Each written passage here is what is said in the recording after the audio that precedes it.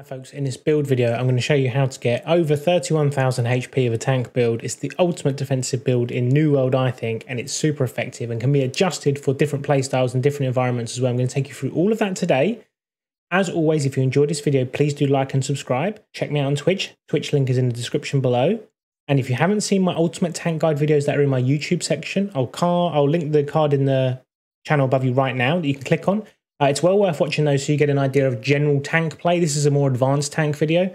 Let's have a look at the Ice Gauntlet tank build. Okay, this build is absolutely insane. Just so you know, I run 500 Constitution when I run this build. I'll tell you why I run 500 Constitution and the gameplay and what I'm trying to look to get out of it. But ultimately, the tagline on this video is 31,000 HP. So let me show you how you get that. You can't go over 500 in any stat point. So I have to take this extra one somewhere else. I'm going to take it in intelligence. Right, I'm going to run 460. And then once I've run that 460, what I'm then going to do is you can see my health at the moment is 20,000 there in the bottom. The 20,000 in the bottom does include my health amulet, which is additional health, of course. But once I pop my food, I've got the 40 con food here. You see I'm on now 21,000 HP. So then you might be going, okay, well, Def, well, how do you get to the 31,000 magic number you've mentioned? Uh, I'm going to make the build for you really quickly. It's basically most things on the left-hand side, which is the main parts of the tree. This is the builder tree. It's basically builder we're going to use, but we're not going to use any of the building components. We're not going to run ice pylon at all, but we are going to run most of the defensive things here. There's a lot of fortify on this side of the tree, which is really important. And then the only thing we want access to here is ice storm. That's all we really need, and the root ability. Okay, so when you run this, the reason why I say it's 21, 31,000 HP is because ice tomb, this ability here, scales with your HP. Basically, ice tomb gives you gets 50% of your HP. So if you have 10,000 HP, Ice Tomb only has 5,000 HP. If you have 21,000 HP, then Ice Tomb has 10,500 HP, which is really effective. So the way you tank with this is you get hit, you get really, really low with your sword and shield, okay? You get your full stamina depletion. Then they need to get you to like 1,000 points. Then when that happens, you tomb. Tomb, you've now got, I think it's 8 or 10 seconds in this, a full purify, then you need to get 10,000 this HP down before you're out of it. And then once that's done, you, your hopefully your healers put a sacred ground on you, your stamina's regen, and you're back for the fight. It is the ultimate defensive capability. Um, I'll show you, I'll put an image on the screen right now of my last war performance with this. It was over 250 assists and two deaths as the main shot caller in the army. On point all the time. So I'm literally in the middle of the action. Uh, the next best tank got nine deaths, and I got two, which shows you the capabilities of this build look, you're not going to get much utility out of this as from an offensive perspective. There is definitely ways you can do that. I'm going to tell you how you should be playing this build. But if you just really need your tanks to survive, I'd highly recommend running this. And what was the inspiration for this was the fact that Ice Shower is the most oppressive CC ability in the game right now. Okay, this ability alone is absolutely insane and worth running for. If you can get a group of five people stacked in here, it's a big clump in a war situation. I'm going to try and show some clips for you on the screen of those big clump moments when I manage to use this and they get wiped. It's super, super effective. And the other thing is Ice Storm again, which is a pretty effective perk, right? I mean, when you do this, it creates a frosted area that you can use in. You can get cooldown reduction. You see that cooldown reduction in the bottom right hand side on Ice Shower just from popping it in there. You know, there's synergies like that on Ice Shower that all give you big cooldown reduction, allow you to get more uptime on Ice Shower. And if you combine that with grav wells in your armor, you can still set up a lot of plays and more importantly, survive them. So I want to go into the build itself and I want to talk you through the reason why it's these perks. Okay, so obviously Ice Shower. Ice Shower is massively important because one, it creates a frosted area. Two, it creates frostbite. So frostbite provides a root, it provides a movement speed debuff of 50%, and that remains on the target for three seconds after they exit the Ice Shower. They also are unable to sprint and dodge when they're in this. I'm sure you've played this game long enough to have been trapped in one of these. It is absolutely horrific and you feel like it lasts forever. You combine that with Enduring Shower to make this last 7 seconds rather than the initial 4 seconds. Allies get a movement buff, including yourself, when they move through it. And Frigid Shower is really important. You apply a 10% rend to your targets. So it's really effective. You can get that in a nice stack. That's a big portion of rend you've provided. Storm. The thing with Ice Storm is you need to understand how to use it. If you're playing around the point, Okay, and I want you to imagine that this patch of grass is the point right now in war that you're focusing on. Your mages who are running 300 plus in, 400 plus in, they're going to be doing the ones who drop the ice storm down on this area. Now, what you don't want to do is you don't want to put your ice storm on top of their ice storm. Why? Because you basically end up overriding it. And with your six intelligence, you are going to tickle their balls, whereas your mages will be losing out on such big damage.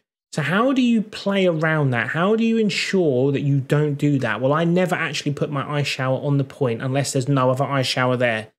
Okay, I'll end up mostly trying to block off their rotations. So, if they're rotating between these two areas, I'll put my ice shower there just to slow them up. Slowing them up creates opportunities for your bruisers, creates opportunity for your mages, ends up creating clumps that other people can take advantage of. So I actually just use Ice Storm to try to CC particular areas where I want to slow down rotations rather than try to gain any damage out of it.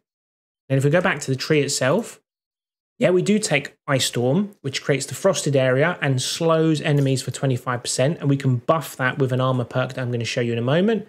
Uh, weakening Gust we don't really need, um, but incoming damage is increased by 10% uh, to enemies in the ice storm while they're below 50% health. So that's like a, I know it doesn't say rend, but that is effectively a rend when they're below 50% health. So really effective. Uh, a bit of mana cost decrease and then increases ice storm damage. In reality, we could probably drop this perk for something else, but there's nothing else I would really, really like. So yeah, you could swap that point for something else if you need to. Then I want to talk about Entombed, which is the single best perk on this. I know people think shower is, but for a tank, it's going to be this one which we've mentioned. So the tomb gets 50% of your health scaling. It lasts for 10 seconds, but it can be destroyed early. You press block to exit with the tomb, or you can press light attack, or you can dodge. If you press light attack, it costs 10 mana, and that's really important for something I'm going to tell you later on. This is fantastic. When you exit the tomb, you get 25% fortify, which is huge as a tank because you're going to be massively stacked on heavy armor. 25% fortify is fantastic.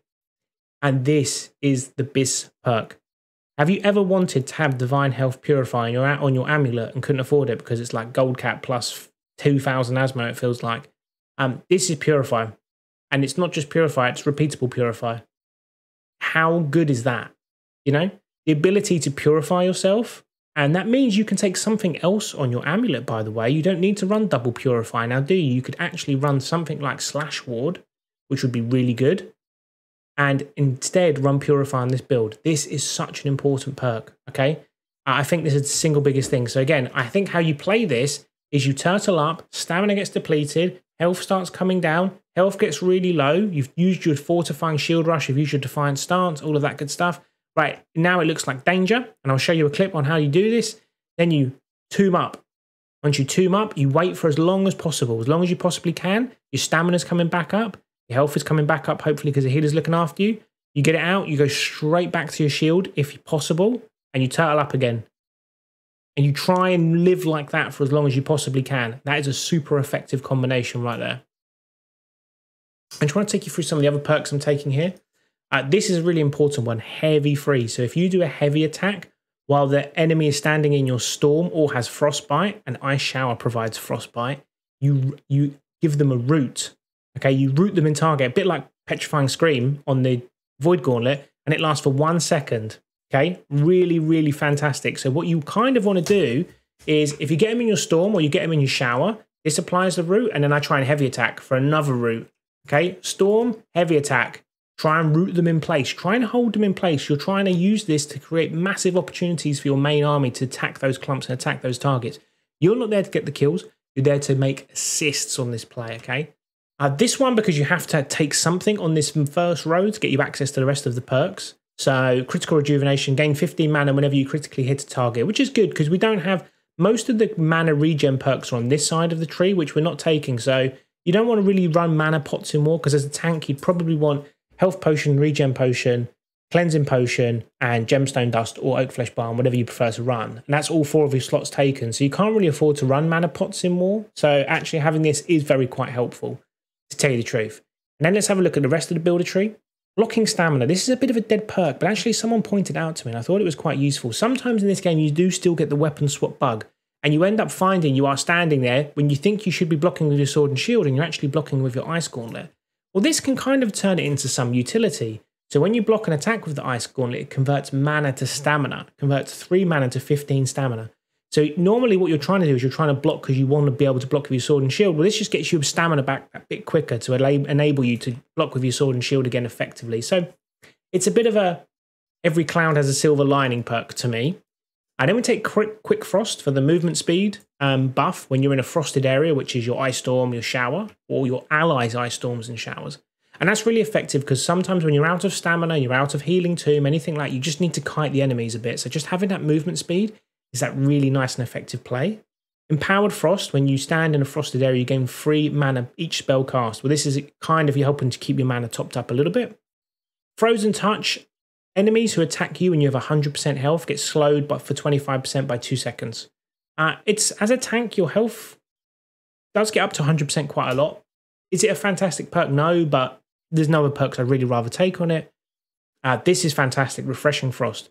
You reduce the cooldown of your Ice Gauntlet abilities by 20% when you cast in a frosted area. So if you can stand in an ice storm or you can stand in an ice shower, then great, you're going to be able to do that. So I'm just going to illustrate that to you. That's got a 19 second cooldown. I'll do that here. Now I'm going to pop the tomb and watch because I'm standing in the area. Did you see the bump I got in the bottom right there? The bump I got from those two for standing in means you can manage your cooldowns better because these have quite slow cooldowns, right? This is a, a 20 second cooldown, 30 second cooldown, 30 second cooldown. Really, really slow cooldowns. And then Defiant Freeze is another one. When you cast an Ice Gauntlet ability, you get five for 20% for two seconds. Now, that's really good because obviously when you do this, you get kind of get stuck in this kind of you can't switch weapons straight away always. You kind of get stuck a little bit, or you might get smashed about. And the fortify will just let you survive that little bit longer. But and this fortify is really good because actually when you swap weapons, you still have, you see in the bottom of the screen, you still actually have the fortify bonus. So it's really nice to kind of just take you you know, helping you tick over. So the fortify lasting in those areas is fantastic. Okay, so that's the full build on war itself. Um, I'll show you the clips that I want to talk about, which is the big one where I survive 30 seconds against a 10 stack of people all ham- raining down blows on me, which is brilliant. And then I want to also talk about the armor itself, because the armor itself, there are some really there's some perks that you really need to think about, and also some different ways of thinking about it as well. Because with 500 con, you have to have con on every single armor piece and weapons. You can't run con on anything else. Um, but I managed to pick this up on the market for 6k, and I think it's outrageously good for wars because it has plague crits, which is if you you can't get plague strikes on ice gauntlet. Ideally, you would have been able to get plague strikes because when you do the heavy attack for root, you know you could combine that with plague strikes to apply some disease. Okay, we can't do that because you can't actually get plague strikes on an ice gauntlet, which is a bit of a shame. That being said, plague crits is good. I can light attack when I see an enemy below 50% health to try and proc some disease. And then I've got unending, unending thought on this. So normally people go, I don't want a weapon perk on my weapon. I want all of my weapon perks on my armor so I can put damage on my weapons. But we're not running damage. We're running six intelligence. What's the point in buffing our tiny, minuscule damage? It's completely wasted. Actually, I'd rather have Unending Thought, which is a fantastic perk to allow me to run more defensive slots on my armor. So you can see here, both of these two pieces have Resilient and Elemental Aversion. Um, and they stack. And that's fantastic because if I had the weapon perk over here, if I had unending here, I'd have to lose one of these two things. I don't want to lose one of these two things because elemental aversion is fantastic. It works on more things than just standard elemental attacks like they say it does. And of course, resilient is bis for a tank. You absolutely have to have it. So this to me is kind of the best in slot I could possibly get other than being a legendary and taking something else with it, like refreshing move. If that was even possible, that would be bis. But this is really good for me. But let's talk about Unending Thought and the armor perks that you sorry the weapon perks that you should be looking for. Unending Thought is really good.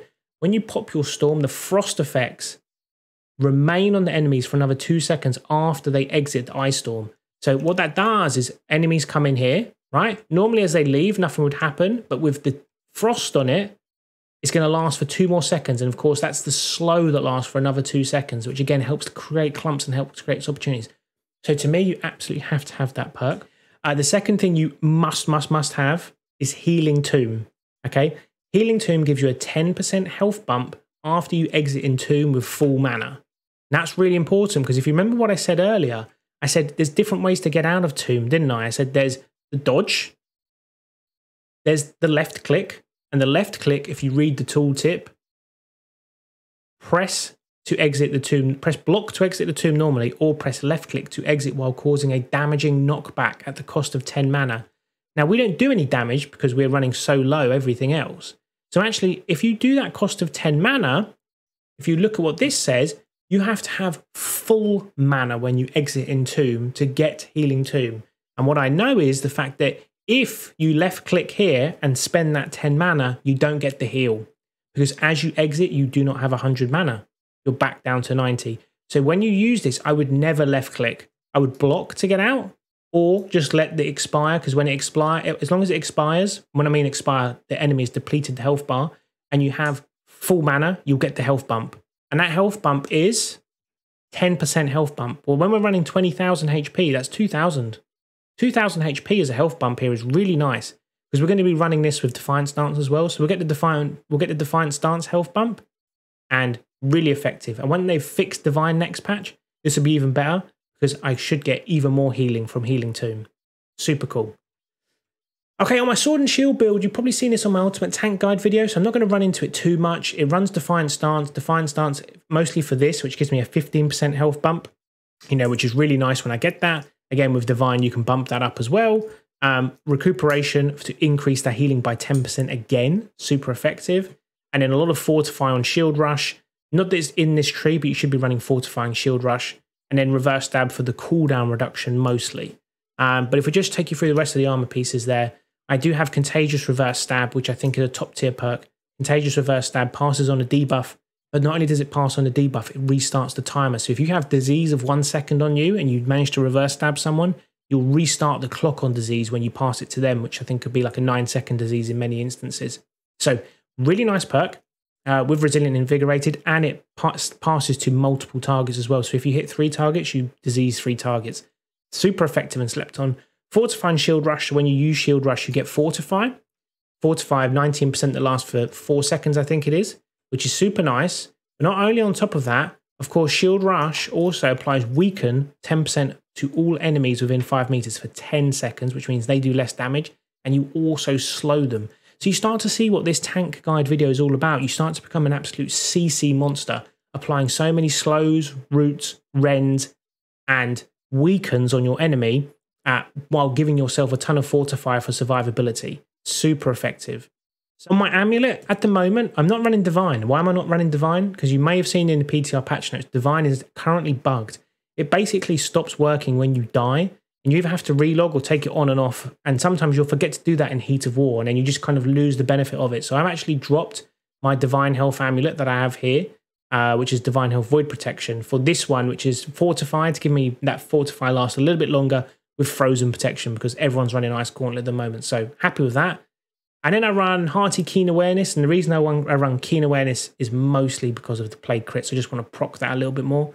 And then I'm still trying to buy a Refreshing Toast Nimble earring. Um, they're very hard to find with con and a good third perk like Refreshing or something like that. And around Defiant Stance and Sturdy on my shield. Refreshing Evasions, okay, not the best, but it's pretty good for me. What would I like on my armor set if I could have more? Well, instead of invigorated, I definitely wouldn't have invigorated by preference because when you have the when you have the purify ability on the tomb, uh, you you're going to be able to get rid of weaken disease, exhaust, and rend in most instances doing that way. So what would I rather? I'd rather have refreshing. To me, refreshing is a best in slot perk here for this build because all of your cooldowns are very long. I've already done the um, ice gauntlet cooldowns, haven't I? But if we look at the sword and shield ones, this has a 20 second cooldown on reverse stab, 20 seconds on rush, 43 seconds on defiant stance. So if you don't have refreshing move on your weapon, you're to be in for a bad time because your cooldowns are so slow. So actually, if you had full refreshing on this gear, it would be massively effective to for just, you know, the longer your timer is, actually the more value you get out of refreshing. So X users don't really need refreshing because their cooldowns are so are so quick because they have lots of inbuilt cooldown reduction on the spear build, for instance, or the rapier build. Whereas on these builds, there isn't that much. There's just reverse stab, or there's just um, the refreshing frost perk we've shown you in the ice build video as well. So yeah, because of that, actually having refreshing would be really effective here, and that's what you could look out for if you were designing your ultimate build for the ice gauntlet. Okay, then if you want to turn this into a bit of an OPR kind of fun build, um, you could go 250, 250 rather than 500, or you want to be able to put, output some damage in war. Go 300 con. I mean, 300 con works really nicely on this because um, if we look at the attribute here, when you get to 300 con, you get plus 20% duration on your stuns, your slows, and your root spells. You're doing a ton of slows and roots. That's really, really nice. And if you went 300, 200, I, I don't know if you need 200 because you get this 10 mana on after a dodge. It's not too important in my view. But at least getting to 150 is plus 15% to elemental damage with the crit chance and the 10% on light and heavy attacks So when you get to 150, 200, you can put out some half decent damage, especially in OPRs. And in OPRs, you can be that tank that leads the army ice showers and then let your army catch up while you free cast from the back and just slow them up again. It can really work with a bit more damage. Now, when I play OPR, I don't run 300, I don't run 500, sorry, I run probably 250, 250 for a bit of fun. And my build also looks a bit more like this. So because you're going to be hitting targets, I'd rather take this cold reach for this buff of 15% damage while they're further away increase critical damage when my ice gauntlet abilities are full, and that can work if you're sat on the top of a fort pumping damage. Full storm, full shower, full tomb. I take all of those things exactly the same, but now because I'm trying to get this ultimate chill, which is wasted when we're running the 500 con tank because we're not doing any damage, but here it's really effective. Ice Gauntlet abilities chill targets and increase ice damage dealt to that target by 25% for 3 seconds. A very nice DPS boost. Now, to get that, you have to take all of these perks, non ability perks in the Ice Tempest build, and then you get access to Ultimate Chill. And that's what my OPR build would look like. And that's just quite nice to fun because as a tank, it's always nice to output a bit of damage sometimes. And when you put a nice storm down and shower down and you see the damage you can pump out, really good. And if you run an OPR build on this, I would kind of recommend actually just to pump up your damage a bit more, get something with Deadly Frost on it. Deadly Frost basically means your Ice Shower now provides damage, 8% weapon damage, to affected enemies within your ice shower. And you're going to be using ice shower a lot. So that's quite a nice perk as well. Um, the sword I have on this at the moment, I'm just running keen and I'm just running curiosity greed for the keen and keenly fortified for survivability.